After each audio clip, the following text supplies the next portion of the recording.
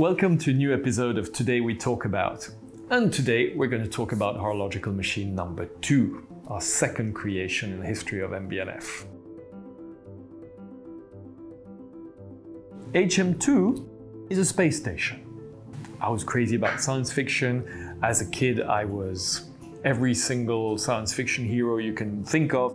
For those of you who are my generation, if you were looking at comic books of the 50s and 60s, when a human being or there was a colony on the moon, on Mars, it was always under a dome of glass because of uh, oxygen. And so the idea of here, under the, each dome, you had life. There are 125 components in this case. Why are there so many components? Is because um, I also remember a phrase from Jean-Louis Dumas, the historical great CEO of Hermes, who one day he was asked, what is luxury? And he said, luxury is something which can be repaired. And that's something which is extremely important for us. Anything we do has to be able to be repaired in 50 or 100 years. So every single component of this case is actually screwed in separately. You can disassemble every single part and then refurbish it, resatin finish it, re-angle it, repolish it.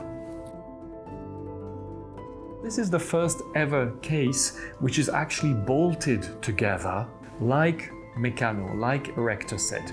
If anybody used to play with that when they were kids, it was pieces of metal that we would bolt together and make objects, machines, cars, houses, whatever. The movement has been designed and engineered like a space station also. Was created with Jean-Marc Wiederrecht and his team Agenhor. It is actually extremely complex. You've got a jumping hour, retrograde minute, retrograde date, a north and south hemisphere moon phase. At the back, of course, our battle axe rotor, the Sapphire HM2s are the most sought after. There were uh, 25 in titanium, 18 in red gold, and 18 in black titanium. And if you can find one, get it.